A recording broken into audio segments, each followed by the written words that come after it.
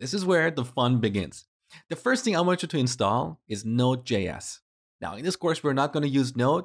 We're only going to use one of its built-in tools, Node Package Manager or NPM, to install third-party libraries. So if you don't have Node on your machine, head over to nodejs.org and download and install the latest stable version. Once you do that, open up the terminal on Mac or command prompt on Windows and run this command. Npm i, which is short for install, dash g, which is short for global. And here's the package we're going to install. Create dash react dash app. We're going to use this package to create a new React app. Now, I want you to install the exact same version I'm going to use in this course because in the future, there might be breaking changes and you might get frustrated if what you see is different from what I'm going to show you. So here, at sign, version 1.5.2. Now, if you're on Mac and you haven't configured permissions properly, you need to put sudo in the front of this command. So, sudo. With this, we'll run this command under administrative privileges. Let's enter the password. Okay, beautiful. Now, the next thing you need is a code editor.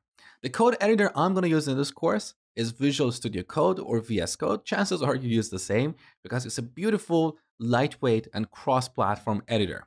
If you don't have it, you can download it from code.visualstudio.com. So here's VS Code. We're going to install two extensions that make it easier to build React applications in VS Code. So open up the extensions panel on the left and search for simple React snippets.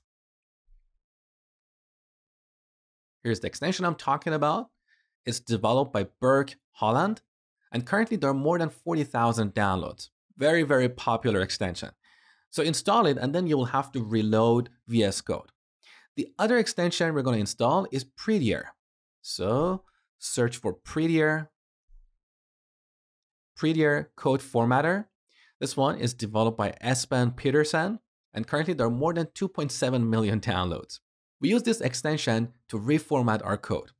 Now, one thing I highly encourage you to do so is to enable formatting on save. So whenever you save the changes, this extension will automatically reformat your code. To do that, you need to go to the settings page. Now here I'm on Mac, I'm not entirely sure how to do this on Windows, but that should be pretty straightforward. So here on Mac, we go to the code menu on the top, then preferences, and finally settings. So here on the right side, under user settings, I want you to add this setting.